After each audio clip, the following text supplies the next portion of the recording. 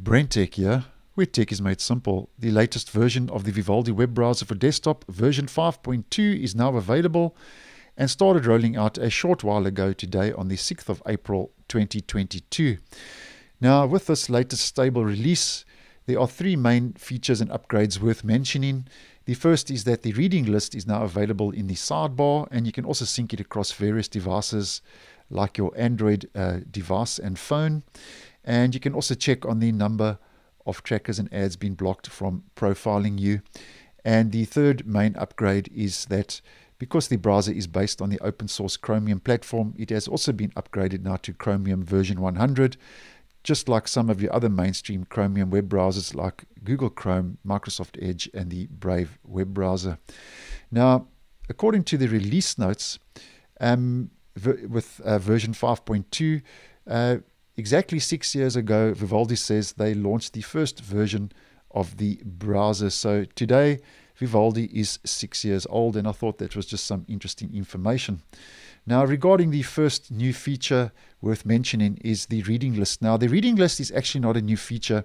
It has been available now for some time in the top right hand corner as a button uh, where you can show your reading list, where you can access uh, the articles that you have saved in your reading list and just view them by clicking on each of those uh, different articles in the reading list. Now, with the rollout of version 5.2, um, it's now been added to the side panel and the sidebar with a couple of new options.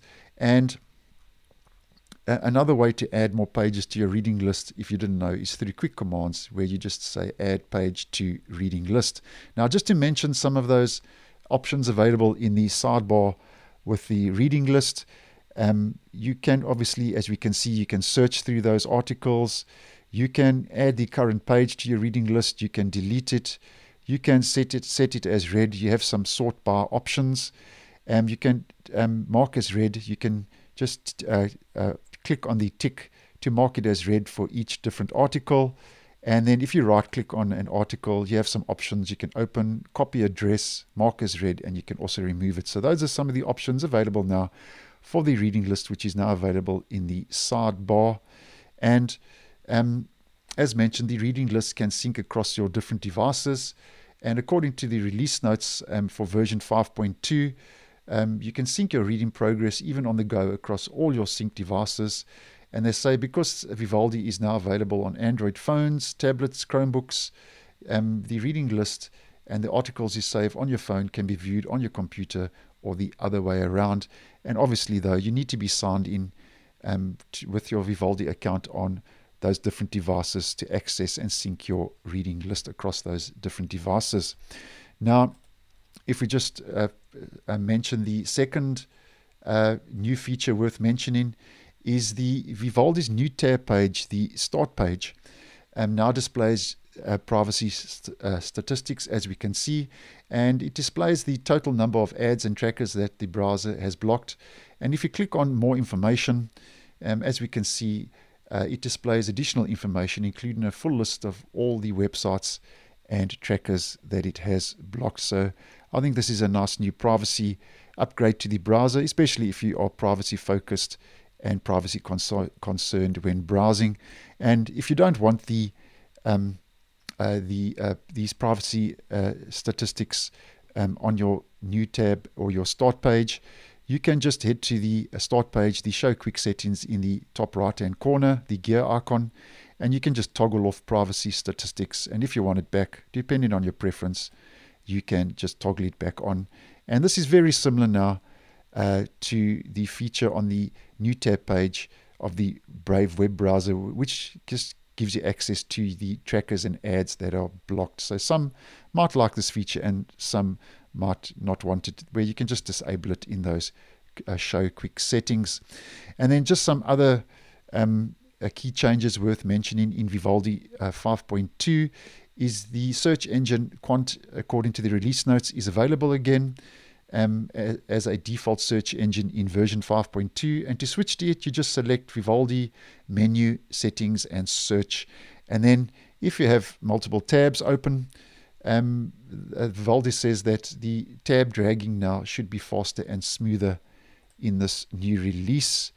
um, according to the release notes. And also, once again, like most upgrades to the browser, there are now improvements to the mail and the calendar uh, that are built into the browser, but there's not nothing actually specifically mentioned in the release notes um, regarding those improvements. But with every upgrade, the mail calendar and feed reader do get some minor improvements and upgrades to those features.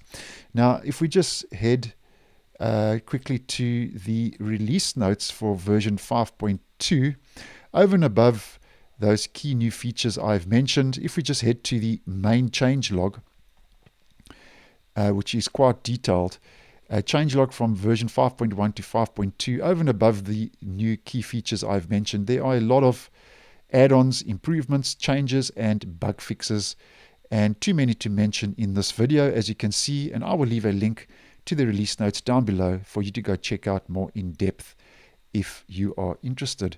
Now, to see if you have this latest version, you just head to your menu, go to help, and you just check for updates. Um, and if it hasn't done so already, this will update you to the latest version. And if we just head back to the menu, this time we go to help and click on about. The latest version now for the stable release of the browser is 5.2.2623.24. And as mentioned, the latest Chromium version now is at 100.0.4896.81.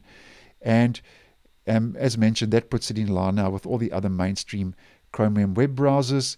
And this will also include all the improvements and important security updates that have rolled out uh, to the Chromium platform with Chrome version 100. And it's just also interesting to note that with the rollout of version 5.2, uh, Vivaldi went from Chrome version 98, jumped version 99, and went straight to version 100. So I thought that was also interesting. So that's more or less what's new in the latest stable release of the browser version 5.2, mainly the uh, reading list in the sidebar, the trackers and ads blocked appearing on your start page, and the upgrade to Chromium version 100. So thanks for watching, and I will see you in the next one.